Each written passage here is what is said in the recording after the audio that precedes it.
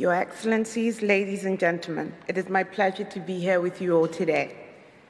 On behalf of the UN Secretary General, I'd like to thank the COP President Alok Sharma and his team for their efforts for prioritizing energy here at COP26, including through the Energy Transition Council and the great work the team there have been doing. Energy accounts for over two thirds of greenhouse gas emissions. But at the same time, 759 million people in this world still lack access to basic electricity. And over 2.6 billion don't even have access to clean cooking solutions. Over the next nine years, we have to do two things at once. First, we must cut emissions drastically. The emissions gap report, just released by the UN Environment, told us the new and updated NDCs only take 7.5% of predicted 2030 emissions, while 55% is needed to achieve the Paris Agreement. Second, we must deliver on the promise we made in the Sustainable Development Goal 7 to provide affordable, reliable, sustainable, and modern energy to all by 2030.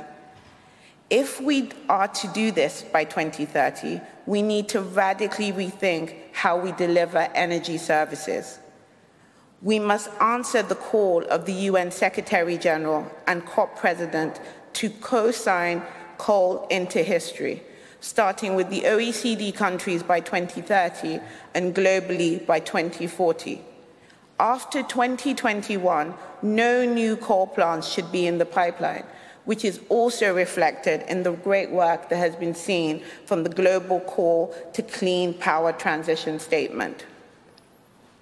If this year is the year we put an end to coal, this must also be the year that we prove to developing countries that clean energy is the most attractive and most affordable option by providing them a clean energy offer. And we must do this through technical assistance, collaboration, and making finance for clean energy dramatically easier to access. We must show why clean energy is an important part of the blueprint for a sustainable future and move beyond thinking that providing clean energy for basic household is enough. It must be energy for businesses, economic growth, and industrial development. Consider the alternative. Right now, we're on track for a 2.7 degree temperature rise, and by 2030, we will still leave over 600 million people without electricity and over 2.3 billion people without clean cooking.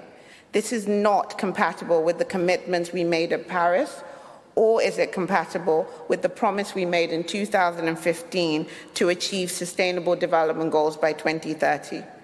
We are running out of time, so we have no choice but to be decisive and recommit to the collaboration and financing necessary to make just, equitable, and inclusive energy transitions possible for those who have contributed the least to climate change.